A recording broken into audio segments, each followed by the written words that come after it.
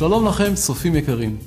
במסגרת סגולה לישראל אגיש לפניכם סגולה נפלאה לזרע בר קיימא. הכוונה לזכות לילדים, לבן או לבת.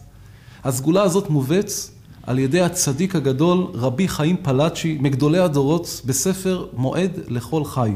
הוא כותב שבערב שבועות, ערב מתן תורה, כידוע בערב שבועות, בליל שבועות, יום שבועות, אוכלים הרבה מאכלי חלב, זכר לנאמר, ודבש וחלב תחת לשונך. התורה היא כמו דבש וכמו חלב, לכן אוכלים מאכלי חלב, זכר, וזה טעם נפלא למתן תורה.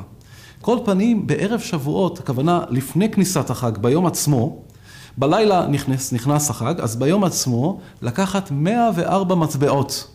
למה 104? זה פעמיים מניין בן.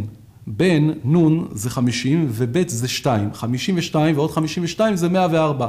מי שרוצה לזכות לבן, אז פעמיים בן, 104 פרוטות לקחת ולתת לתלמיד חכם בערב שבועות.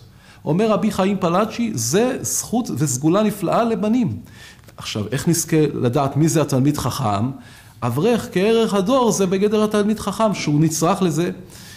אם אדם מכיר אדם דתי, יגיד לו, אני רוצה שתיתן את זה לאברך. בדרך כלל, הוא יכיר את האברך. וזה הזכות שהוא יכול לזכות על ידי כך.